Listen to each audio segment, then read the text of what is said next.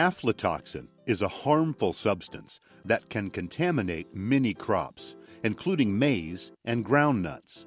It is important to understand where aflatoxin comes from and how to control it so that we can protect human health and trade.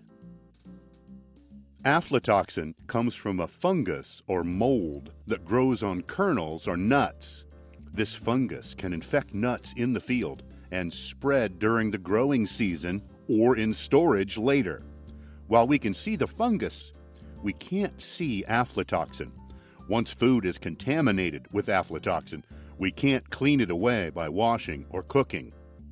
Fungus spores or seeds are everywhere, especially in the soil, so we do what we can to avoid conditions that allow the fungus to attack groundnut and produce aflatoxin. Because the fungus thrives in hot and dry conditions, it's important to plant your groundnut crop on time.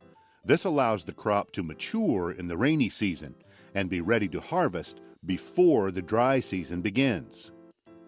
Plant at the proper density so that plants can shade the ground and keep soil cooler. Harvest the crop promptly. Pods that remain in the ground too long are more likely to become infected with fungus. Once groundnuts are harvested, dry the crop properly by turning them over in the field after they are dug, so that the nuts are up in the air for a few days. After the nuts have dried some, pluck them and dry further on a tarp. Sort out the damaged or discolored nuts. Store the good nuts in the shell in clean, dry bags. Store the nuts away from pests. When insects and animals damage groundnut sacks, they allow moisture in that can lead to fungus. Pods that are damaged also are susceptible to fungus and aflatoxin. Never allow the nuts to get wet again, either by rain or soaking before shelling them. Anytime the nuts are wet, fungus can grow. When the nuts are shelled, sort them again.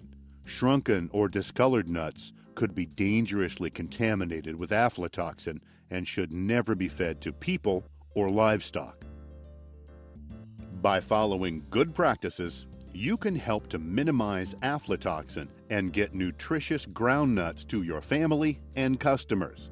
Remember to plant on time to avoid drought dry nuts appropriately. Follow good storage practices. Sort out and destroy damaged or discolored nuts. These steps will help reduce the risk of aflatoxin in ground nuts.